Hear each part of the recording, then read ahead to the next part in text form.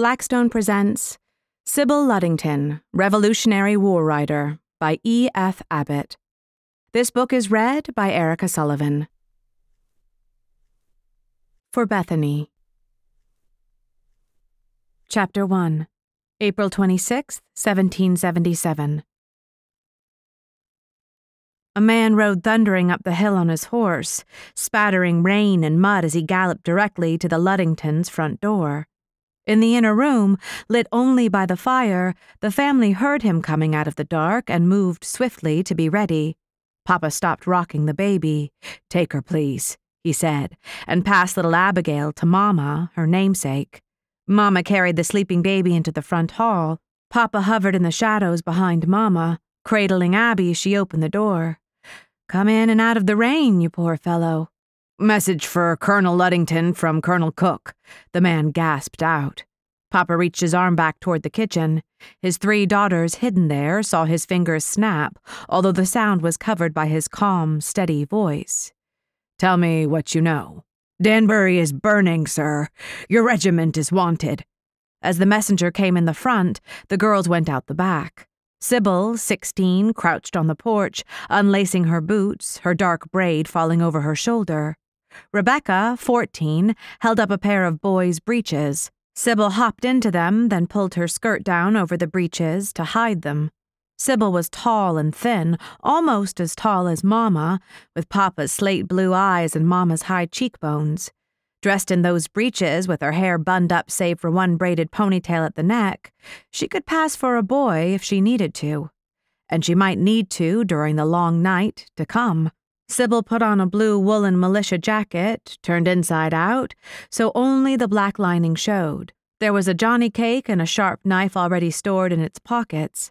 Becky pulled a dark red hood over her sister's hair and knotted its scarf around her throat. Swift little Molly, eleven, darted across the rain swept yard to the stable and saddled up Lady Jane as fast as she knew how.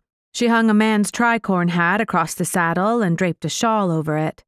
The shawl would soon be sopping in this downpour, but it would hide the hat. On her way back, leading the gray mare, Molly met Papa as he brought the messenger's horse to the stable. Just water, some oats, and a quick rub down for this one, my love, said Papa. The messenger's not staying longer than it takes to eat a bowl of stew. Papa took Lady Jane's reins. Sybil braced a hand on the horse's shoulder, ready to mount, but Papa held her back. Did you hear the man? He asked. What will be your alarm? Sybil straightened, took a breath, and said, The British are burning Danbury. Muster at Ludington's. Papa nodded and pulled her close. Yes, they're coming, and they must be met. We need every single man in the regiment here as fast as he can ride or run. You mean as fast as I can ride, Sybil said. The messenger had come onto the porch and stood, watching. Papa boosted his oldest girl onto the horse's back. Molly came running back, a strong maple branch in her hand. She held it up to Sybil. Don't let anyone near you, she said. Don't even get off the horse, said Papa. Just rap on the doors with the stick. Sybil tapped her heels against the mare's sides. Come on, Jane, she said. She left safety behind, with no idea what the night would bring. She went out into the lashing wind and cold spring rain, riding among those in this violent corner of New York who might rob her, betray her to enemies, or worse. If she succeeded, her dear papa would be leading his full regiment off to battle come morning. If she failed, what then? Chapter 2 Two Years Earlier